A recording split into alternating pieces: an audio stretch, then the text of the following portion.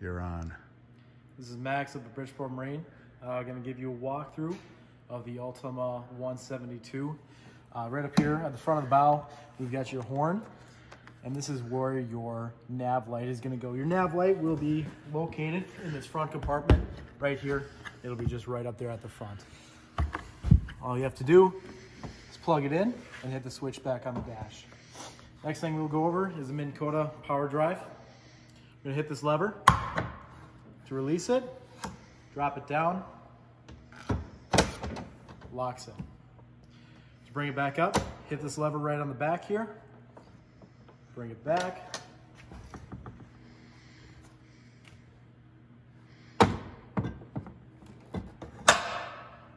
Locks in. Right up here, you've got your tilt and trim switch for the outboard on the back, up and down. You've got your plug-in and your control pad will be sitting right here under the starboard compartment. You've got your storage space, more than likely your charger as well, already hooked up and ready to go. This back over there. Under your port side compartment, you've got your front live well hooked up and ready to go.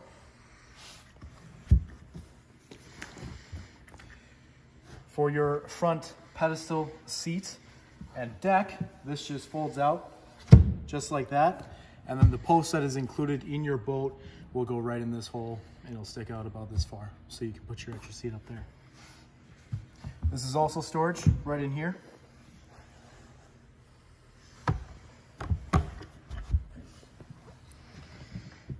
Get your full windshield right here.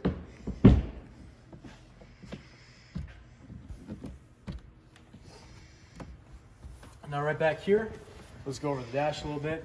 You got your miles per hour, your volts, and your fuel. You've got your RPM. You've got a compass right up here. It's your Humminbird Helix 5. If you do not know how to use this or are not familiar with this, go ahead. There's lots of very great uh, YouTube tutorials out there. This is your ram out. Release this lever right on the left here, and then you're able to move this however you would like. Take it out. And take it out. Release this a little bit more. This entire thing will come out and then you can just disconnect the cables.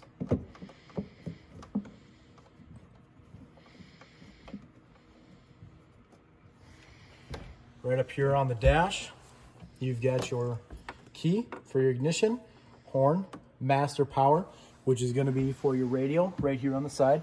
It is a Jensen Bluetooth radio, which you can hook up to your phone. You got your nav light and your anchor light back here. You've got your bilge, your live well main one, live well main two, and your storage lights if your boat is equipped.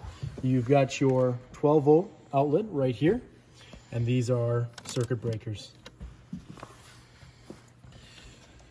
Right here, you've got your throttle control with your up and down trim, forward, reverse, so forth on your steering wheel. Put this little tab down here and that will adjust it. Right down here, you've also got your safety switch that you can connect to yourself in case you fall out of the boat. It'll kill your engine instantly.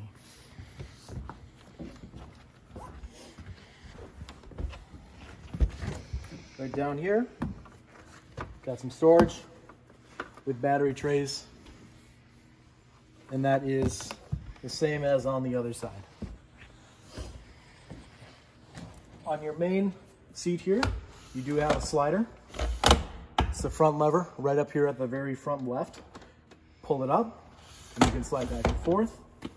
And then you've got a secondary lever right over on the right side where you can turn it around.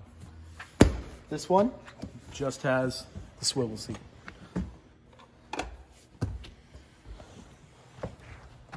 Underneath here, you've got rod locker. You'll more than likely have your cover on your boat. So your posts and everything else will be in here. You got a drain down there in the center.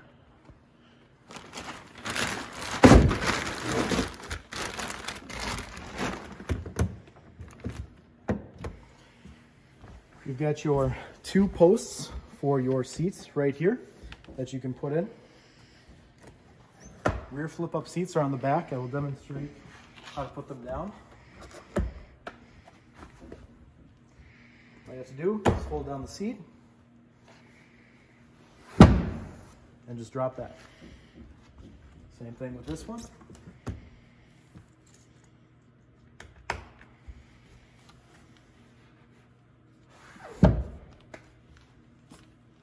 On the sides here, you have locker space, storage. And on this side, you will see your anchored light pole, which is right here, and you will see a couple more rod holders, rod lockers.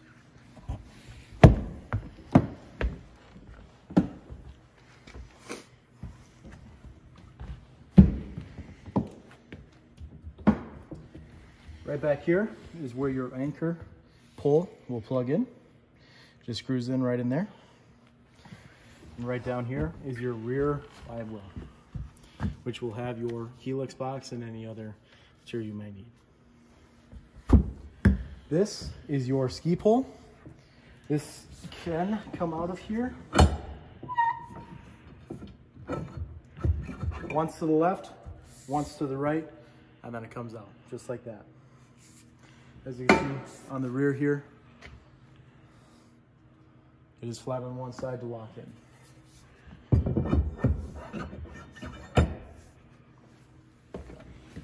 Right back here is your fuel. That is your fuel fill up. And then we will move, you can cut the video It's okay. maybe, okay. We'll move to the back and I will show you